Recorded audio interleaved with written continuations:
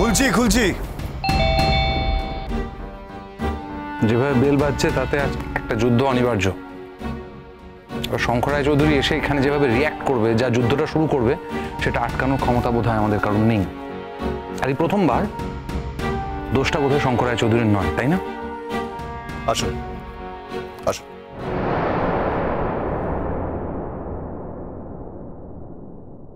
এসবের মানে কি Mohor? What do think of me তুমি কি পেয়েছ আমাকে? আর আপনাদেরকে বলছি? আমি তো শুনলাম যে আপনারা অনেকক্ষণ আগেই জানতেন যে এখানে এসছে। আমাকে বলেনি কেন? আপনি একটু ঠান্ডা হয়ে বসুন আপনাকে আপনাকে বলছি সব কিছু না না কোনো ঠান্ডা হওয়ার ব্যাপার নেই। You will joking with me হ্যাঁ আমি জোকর আমি সেই বিকেল থেকে ঘুরে ঘুরে বেড়াচ্ছি। আপনারা সব জানতেন। তা সত্ত্বেও আপনারা আমাকে বললেন না। কেন বললেন না? কেন বললেন না? বলুন। আসলে মোহর বারণ করেছিল আমাদেরকে বলতে। আপনারা ভদ্রলোক? হ্যাঁ? মোহর বারণ করেছিল আর আপনারা মেনে নিলেন? হ্যাঁ মানে দেখুন আমি আমি আপনাকে এক্সপ্লেন করছি আপনাকে বুঝিয়ে বলছি ব্যাপারটা। আপনি ও মানে, মোহর আমাদের কাছ থেকে মানে আমাদেরকে রিকোয়েস্ট করেছিল আপনাকে না বলার জন্য। তাই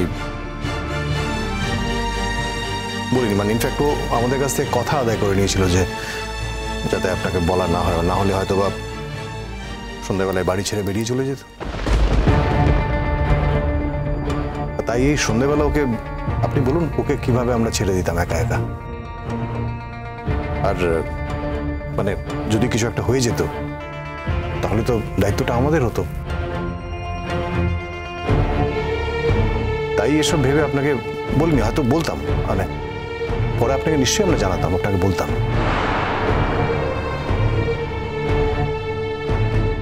চুপ করে দাঁড়িয়ে থেকো না। শঙ্খকে উত্তর দাও। কেন শঙ্খের সাথে এটা তুমি করেছ? আমি তোমাকে বলেছি যে উনি আমাকে গিয়েও অ্যাকিউজ করেছেন। তা সত্ত্বেও এখন তুমি যেটা করছ সেটা অন্যায়। আজ আমি আপনাকে একটা কথা পরিষ্কার করে বলে দিচ্ছি।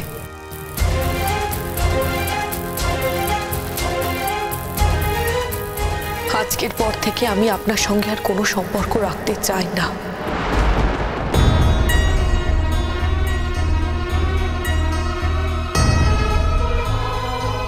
তুমি আমার সঙ্গে ইয়ার্কি মারছো? ইয়ার্কি মারছো তুমি আমার সঙ্গে? তোমার যা ইচ্ছে তুমি তাই করে নেবে। তুমি তুমি আমার সঙ্গে খেলছিলে কেন? কেন এই খেলায় মেতেছো বলো? Tell me more.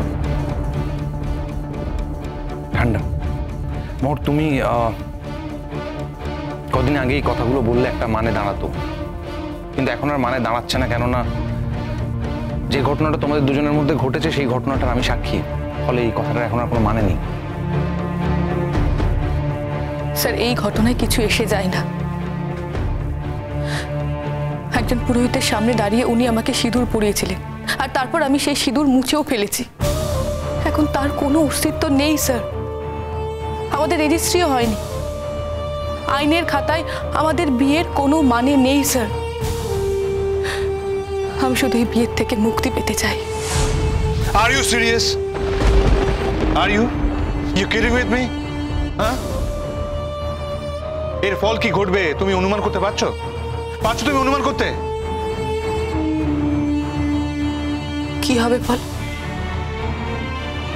আপনি বিদেশ চলে যাবেন তাই তো? যান না। আপনি বিদেশ যান। আমি তো আর আপনাকে আটকাবো না। আপনাকে আটকানোর আমার এখতিয়ারের মধ্যে নেই। আপনি আপনার মতো করে জীবন কাটান, স্যার। আর আমাকে আমার মতো করে জীবন কাটাতে দিন।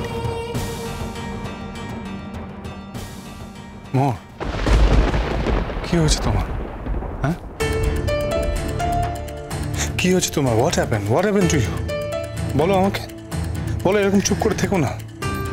কার প্ররোচনা তুমি এরকম করছ? কার প্ররোচনায়? বলো না। আমি কিন্তু ছেড়ে দেবো না, মোর। আমি ছেড়ে দেবো না। মোর মোর, আমি গিয়েছিলাম ওখানে। তুমি তুমি তুমি আমাকে নিয়ে গেছিলে। আজ তুমি সেই দিনটাকে ডিনাই করছ? ডিনাই করছ তুমি?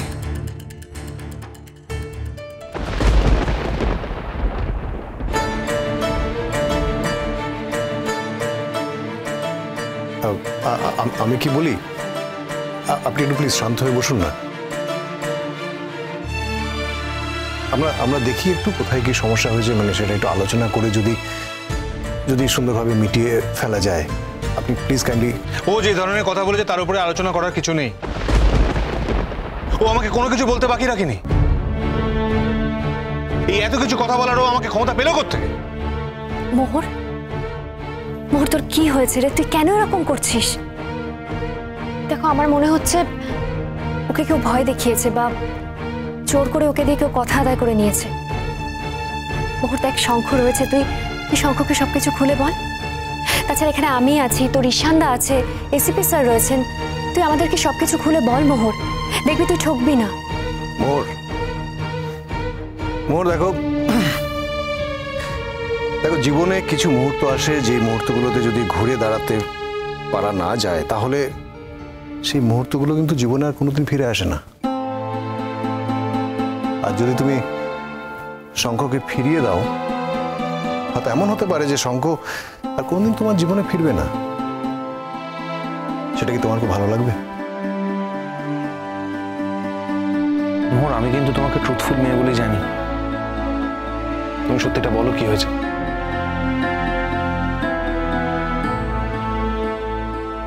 কিছু হয়নি স্যার।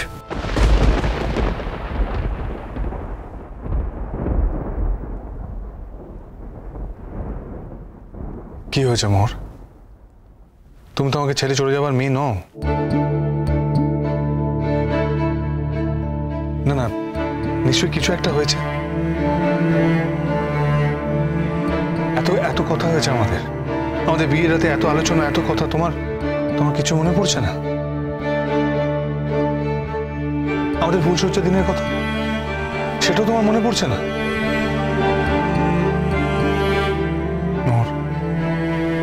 এই আংটিটা আমি তোমায় নিজে পরিয়েছি।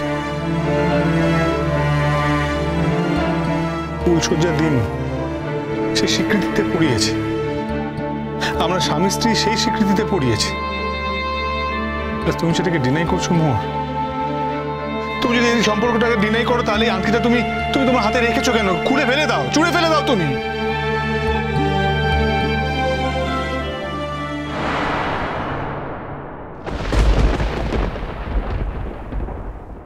আবার যা কথা বলার ছিল আমি বলে দিয়েছি।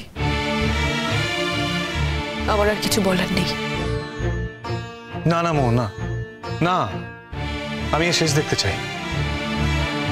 আমি এভাবে হেরে আমি তোমার কাছ থেকে দূরে চলে যেতে পারব না। তোমাকে বলতে হবে Mohor you have to say তুমি যে সিদ্ধান্ত নিয়েছো সেটা কেন নিয়েছো বলো। কি কারণে বল? না না, কি এমন হলো?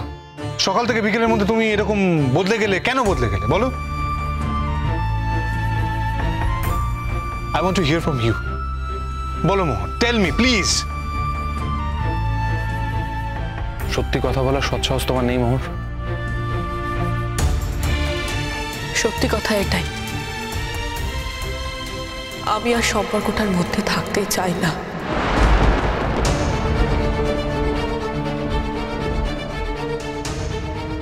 তুমি কি চাও না চাও সেটা কেউ জানতে চাইছে না মোহর। তুমি তোমার চাওয়াটা তো বলিয়ে দিয়েছ জানিয়ে দিয়েছ। কিন্তু তোমার এই চাওয়াটার পেছনে কারণটা কি? সেটা তো জানাওনি কাউকে। দেখো, এই মানুষটার প্রতি তোমার কোনো কমিটমেন্ট নেই? কোনো কমিটমেন্ট নেই কি তোমার এই মানুষটার প্রতি? বলো।